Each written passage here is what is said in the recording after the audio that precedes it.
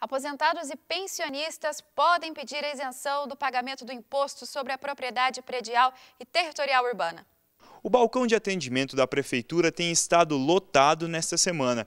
Isso porque muitos moradores de Umuarama estão atrás da isenção do carnê do IPTU 2013. O cadastro está sendo feito neste mês e é válido para 2013 e 2014. Cerca de 2 mil moradores estão dentro dos critérios para solicitação da isenção do imposto como explica o secretário de Fazenda do município. Então nós notificamos é, aproximadamente 2 mil casos no município de Moarama, no mês de janeiro.